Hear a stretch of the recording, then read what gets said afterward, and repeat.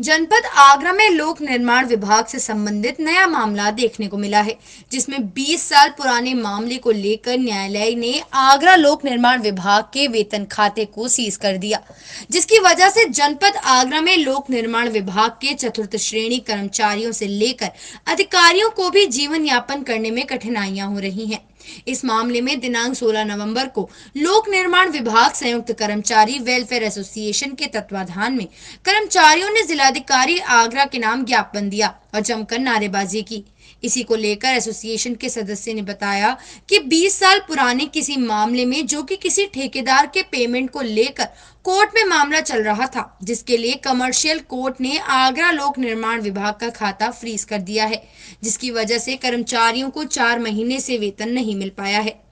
जबकि इसकी शिकायत कई बार कर दी गई है, लेकिन कोई प्रभावी कार्यवाही नहीं हुई। इसी को लेकर दिनांक 16 नवंबर को सभी कर्मचारियों ने जिला अधिकारी आगरा के नाम ज्ञापन सौंपा है। जिसमें कहा गया है कि अगर इस पर जल्द सकारात्मक कार्यवाही नहीं होती है तो 21 नवंबर से सभी कर्मचारी, लोक निर्माण विभाग का कार्य बहिष्कार कर अनिश्चितकालीन धरने पर बैठ जाएँगे, जिसकी वजह से होने वाले नुकसान की ज़िम्मेदारी प्रशासन की होगी।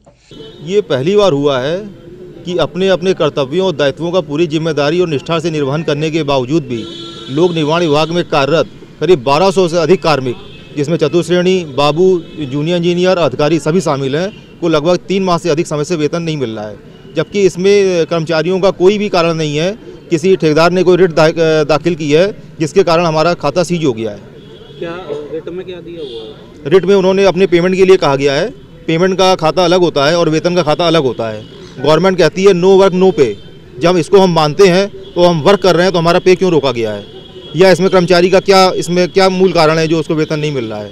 अभी दीपावली का एक पर्व आया, हमारे कर्मचारी दीपावली तक नहीं मना पाए। या कुछ लोगों ने दीपावली मनाई, सिर्फ़ खाना पूर्ति करी।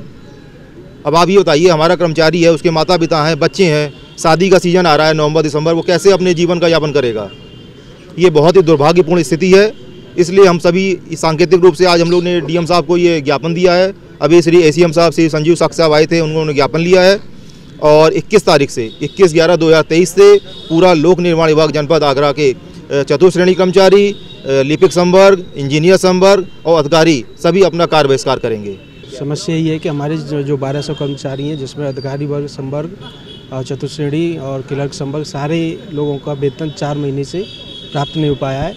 उसका मेन कारण जो पुराना कोई केस चला रहा है कॉमर्शियल कोर्ट में तो कॉमर्शियल कोर्ट आगरा द्वारा हमारे खाता सीज कर दिया गया है सैलरी अकाउंट। ये लगभग बीस साल पुराना केस है। तो इसमें लेकिन जो सैलरी खाता है वो कभी कुर्क नहीं किया जा सकता ऐसा माननीय न्यायालय द्वारा भी बताया गया है लेकिन किसी कारण से वो बंद कर दिया गया जिससे हम लोगों को सैलरी प्राप्त नहीं हो पा रही है।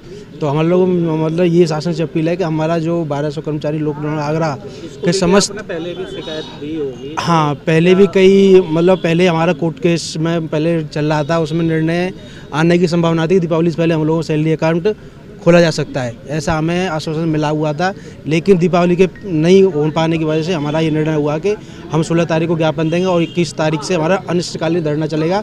जब तक हमको सैलरी नहीं मिलेगी पीडब्ल्यू का कर्मचारी, कोई भी कार्य नहीं करेगा, पूर्णतया तालाबंदी होगी। डिजी महाराजा न्यूज़ के लिए शैलेंद्र लवानिया की रिपोर्ट।